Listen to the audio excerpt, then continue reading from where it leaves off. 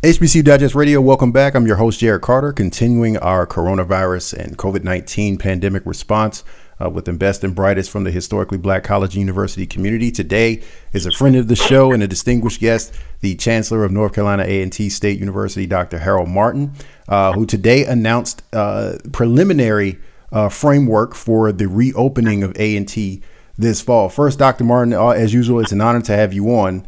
Um, you're among the first HBCU presidents or chancellors uh, to to start to address a framework for how opening and operating will look in the fall. Can you talk about some of the the the, the information that you've received and uh, some of the ways in which you've worked with the state and the UNC system uh, to arrive at a place where you're you're today making that announcement? Uh, first, let me thank you for all you do on behalf of our universities, Jarrett, uh, and uh, capturing, doing the fact finding, and sharing accurate information with all of our constituents. So, really, thank you on behalf of all historical colleges and universities. And I'm delighted to be with you this evening and share perspectives about our university and how we see ourselves moving forward uh, and planning for the future, quite frankly, especially fall 2020 all of the universities in the UNC system um, are working very closely through their chancellors with the president of the university system and the board of governors, and through a framework uh, under the umbrella of the governor setting um, how the state will function as he's currently doing, and everything we in the university system of North Carolina and each of our respective campuses are operating within that framework. Um, what we have resolved uh, very recently as chancellors with the president of the university system and the board of governors is that we have to begin to share with our constituents a very candid discussion about uh, the future of the university system of North Carolina and each of our respective campuses about the business of our universities come fall 2020 so that our families and their sons and daughters uh, can begin to make um, um, frank decisions and and challenging decisions about what they're going to do in the fall based on our guidance. Mm-hmm. Uh, so we have an exceptional group of new freshmen slated to come to our university this fall. We have a record number of students on our campus this year who are wanting to know how they will engage with our university next fall. Uh, quite honestly, we have a record number of graduates who are leaving our university this year as graduates, and we want to send off in a, a, a exceptional celebratory way. And as you know, HBCUs, graduation is a big deal. Yes, sir. And so we're trying to frame how we are going to celebrate through a face-to-face commencement and an appropriate time in the future, mm-hmm. uh, commencement for our graduates but in the meantime, a virtual celebratory activity which we will announce to our uh, graduates uh, very shortly as we celebrate them and all their hard work, quite honestly. And so we are uh, uh working very closely with our president, as I indicated earlier, to frame a very well defined planning discussion uh, with contingencies built in as to how we will see ourselves operating in fall 2020. And my announcement today essentially has said that to our campus community, our constituents, our students, and their families. You serve as one of three uh, executives within the system that is advising um, the UNC system president on, you know, the data um, and some of the kind of peripheral considerations that it would take for all 17 of the Carolina public campuses to, to reopen and to do so safe, safely. And in your letter today, you talked about that the virus may still be here without a vaccine when it's time to do this, but also the creativity and innovation that A&T will lead to try to do so and protect its faculty, students, and and visitors and guests. So what, what's the process like in working on campus to figure out logistically, culturally, how do you glean information and then craft a set of recommendations to say if we're going to do it, this is how you should do it because this is what A and T is seeing.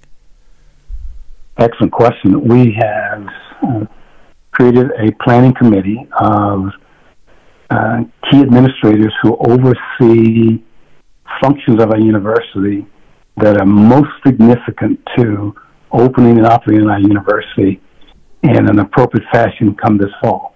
Mm-hmm. And within that planning committee, which includes um, key administrators such as my provost, my vice chancellor of research, uh, senior uh, student affairs administrator, senior research administrator, general counsel. Uh, I give you some example of some of the key people on that committee. They oversee working groups. Um, for example, a working group on academic affairs is working very closely with the provost and uh, vice chancellor for research to evaluate the most effective way for delivering academic degree programs and engaging um, opportunities for our faculty to continue their research uh, in their research facilities on our campus, uh, and the technology that's going to be required uh, for them to be able to do that. There's a committee looking at um, students and student enrollment and housing and dining, uh, for example, to evaluate how we will accommodate students in our residence halls and allow them to have access to dining facilities, uh, for example, um, and providing for uh, support services to provide tutorial assistance, counseling services, uh, health center access, and things like that.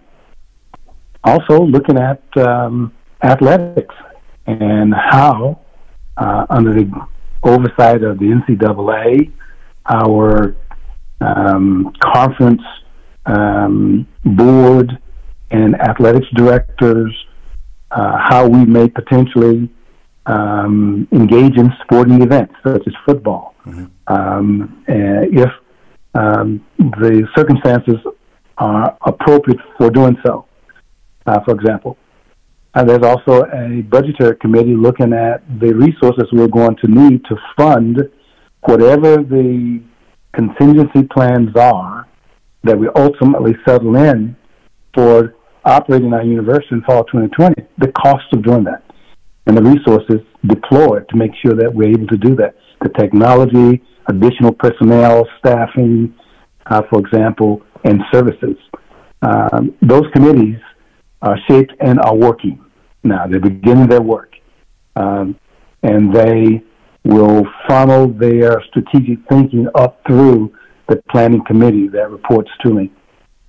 It's an excellent group of faculty, staff, students, um, and administrators on our campus who are helping us think this through. And very, these are very complex issues. So, for example, in a best case scenario, if the coronavirus is under control and there are vaccines in place and the the tail end of this uh, virus is um, uh, trending to zero or to a controllable level, we may be able to have full open classrooms, students in our residence halls, access to our uh, dining facilities, and engagement of meetings and social events on our campus mm-hmm. in a normal mode. It's highly unlikely that's going to be the case. It is likely that we will still have um, requirements as mandated potentially, for example, by our governor, who says that we will be open for business, but we will still be required to operate under the conditions of social distancing mm-hmm. uh, and may not be able to engage in an environment where there are more than 50 people in an environment uh, where people are meeting, as an example. If that's the case, we may have to uh, house students in our residence halls in a very different way. Right. Fewer students in the residence halls, fewer students in per room, um, and fewer students gathering in meetings or functions. How students gather in our classrooms, uh, for example, or in our dining spaces. How faculty um, arrive on the campus, for example. And so, if we are required to engage in some level of social distancing, but also means that we will have to have in place high levels of testing of everyone yeah. who returns back to our campus. Um, uh, so that we can assess who can and cannot come back to the campus, and there will have to be ongoing testing. So we'll have to make sure that the state is making provisions for easy access to tests so that our, all of our students and our faculty and staff are tested before they step foot back on the campus, but they're routinely tested in the same way that every university in the system will have to have access to the same level of testing. And in the event uh, that we are social distancing, we want to have to have a hybrid delivery of instruction. Um, for example, we may make provisions for new freshmen to have a higher level of face-to-face instruction on campus because many of these students will be coming out of high schools where they are not as accustomed to um, online instruction. Right. Uh, and they may need a higher level of interactions, engagement face to face. So we'll have to make provisions for that and provide a high level of uh, online instruction complementing face to face instruction as well, so that we give our students uh, options. Those who want to come back to the campus can do so. Those who want to remain at home would be able to do that uh, and still gain access to a high quality instructional mode online, for example. So we are, will be exploring based on the circumstances we may engage in um, come fall 2020 um, with plans in place that will allow us, uh, based on our uh, contingency planning, to call into the plans the aspects of the plan that allows us to accommodate in the most efficient way the engagement of our students uh, through instruction and support, as well as the opportunities for our faculty who have significant levels of research. And we're third in the university system in research. So we've got to get this work done as well. And fact, we want to continue that research that involves a high volume of our graduate students, for example. And so our planning processes are put into place. They're beginning their work. They will explore all aspects of possibility.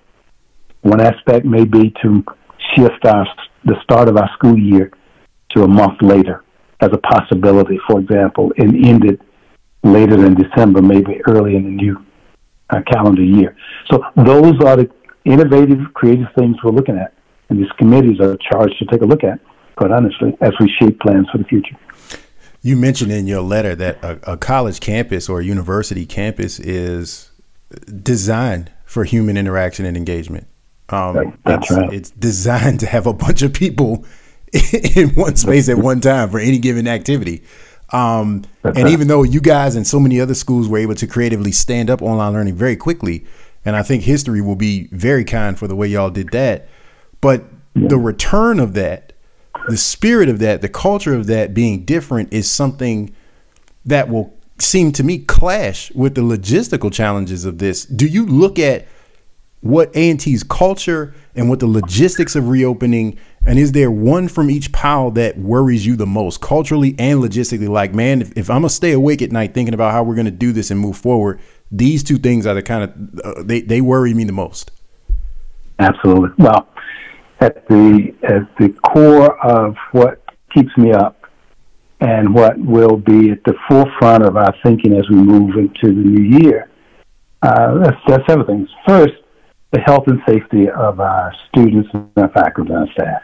That that is paramount, and so we clearly have to keep that in in our minds as we think through our plans for the future.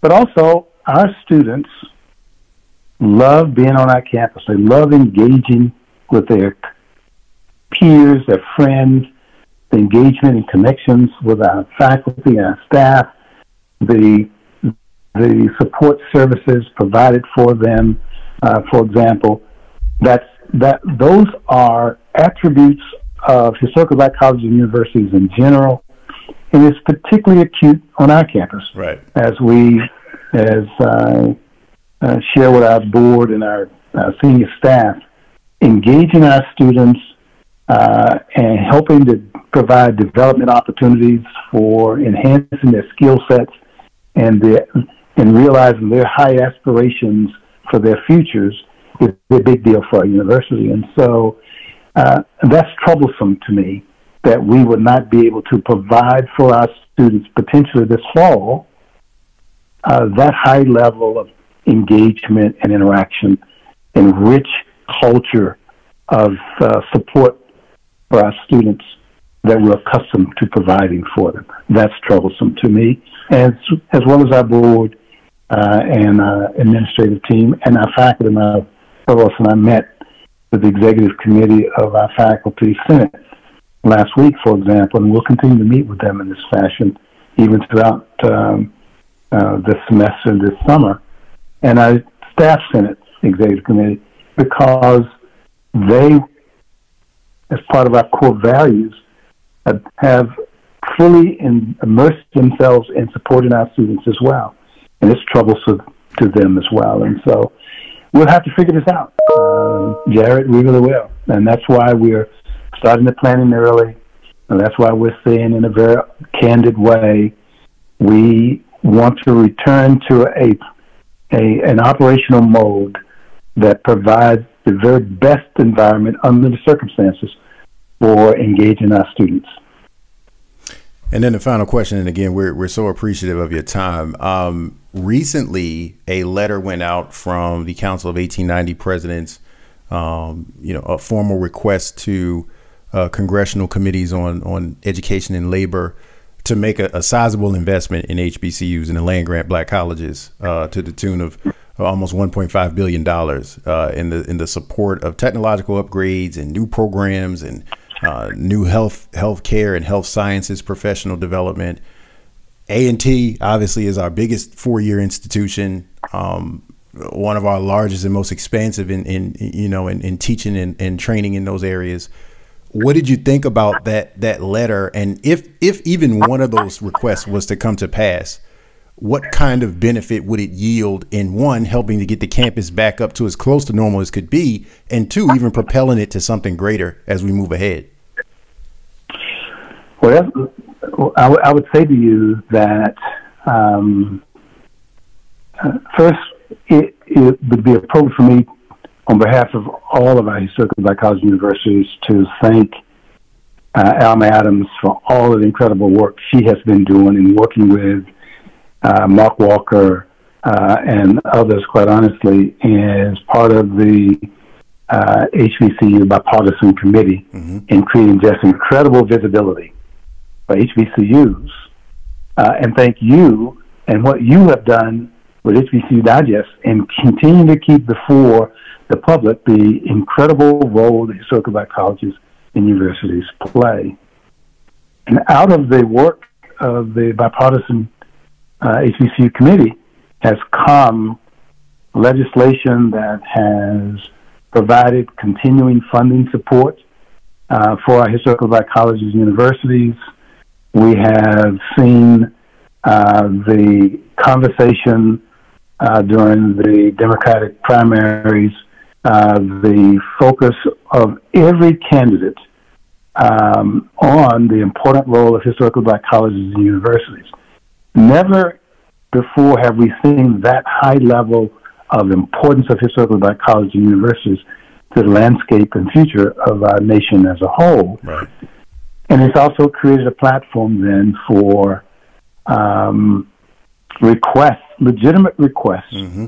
for funding support um, to Congress uh, for uh, additional focus on historical black colleges and universities through the CARES Act and uh, quite honestly, the letter you made reference to uh, from the chair of our 1890 um, Council of Land Grant Institutions, um, uh, Abdullah, President Abdullah at Virginia State, mm-hmm. making a request of a little over a billion dollars on behalf of the 19, uh, 1890 land grant institutions, an appropriate request.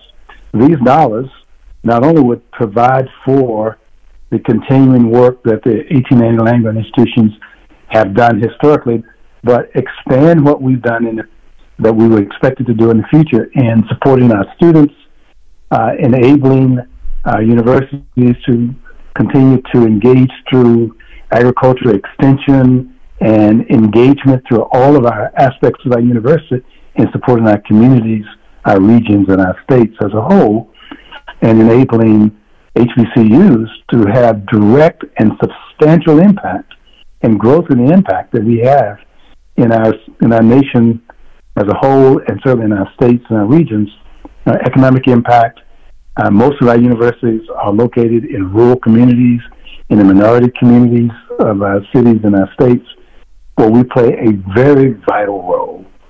In addition to graduating high numbers of African American students in critical degree areas of importance to our nation as a whole as well. And so, legitimate requests on behalf of our institutions, both through the CARES Act as well as the special requests on behalf of the 19 land grant institutions, quite honestly. Uh, big deal for us. Uh, and because of the work of the bipartisan committee uh, and Alma Adams, quite honestly, comes from Alma Adams, she's just done some remarkable work on our behalf, mm-hmm. Uh, quite honestly.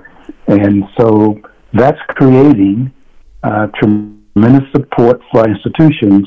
And, you know, quite honestly, the investments uh, individuals are re- beginning to realize, Jarrett, that there is great return right. from those investments that have been made in our institutions, quite honestly. And so, so I'm very pleased about it, um, unabashedly supportive of these requests because there is great return from our institutions um, for every dollar invested in our institutions. So